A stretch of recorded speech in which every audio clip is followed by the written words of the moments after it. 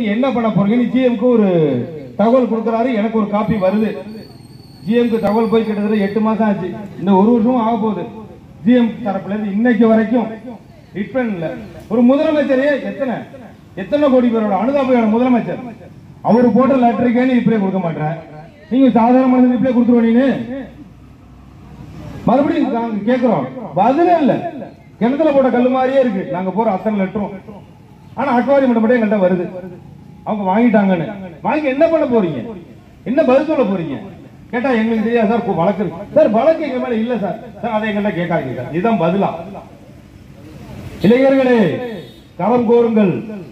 உங்களுடைய வாழ்வாதாரத்துக்கு உங்களுடைய சந்ததியினருக்கு உங்கள் கருத்தை கோருங்கள். நீங்க கோத்தா மட்டும்தான் எதுவுமே நடக்கும். இல்லைன்னா நம்ம பாதிக்கப்பட்டுட்டே தான் இருப்போம். பேச வாய்ப்பளித்தமைக்கு நன்றி உரை விடுபெறுகிறேன். நன்றி வணக்கம்.